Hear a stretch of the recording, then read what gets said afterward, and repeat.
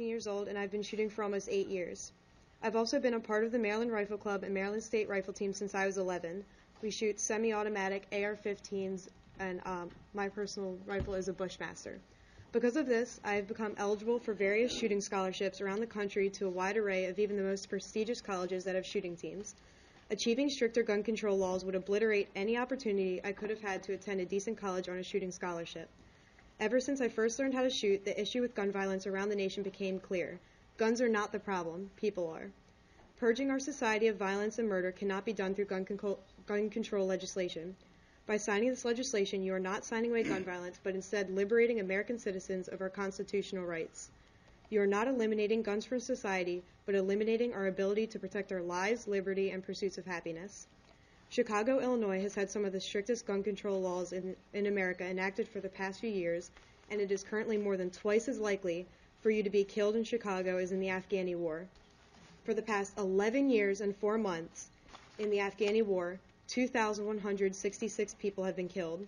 Now, in only eight years in Chicago, 4,265 people have been killed, and 3,371 of them were from being shot. Is that really something we want to model our state laws after? Now, even of those 3,371, only 37 were killed with a rifle, which is barely 1%. 98% were killed with a handgun, so creating, a gun con- so creating gun control legislation that targets assault rifles has statistically proven to only weed out less than 1% of the problem if you're lucky. I'd also like to point out that none of the guns used in the Chicago shootings were registered or licensed to the people who used them, thus even further proving that simply restricting guns will not stop criminals from using them, nor will restricting guns stop criminals from harming others in general.